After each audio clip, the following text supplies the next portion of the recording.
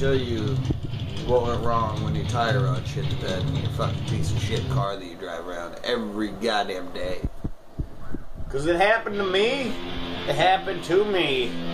I had that same fucking problem, and I'm gonna tell you right now how to fix that shit.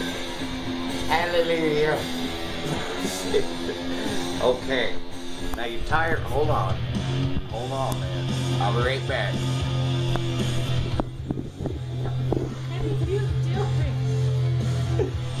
This is supposed to be your tire rod end.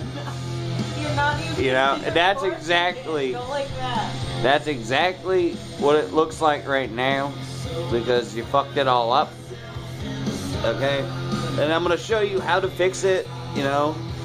I'm not gonna go outside and rip mine out because I just put it in, but this is exactly what you do to your piece of shit car that drives you nuts and you're just doing nothing but putting money in it and it's going nowhere.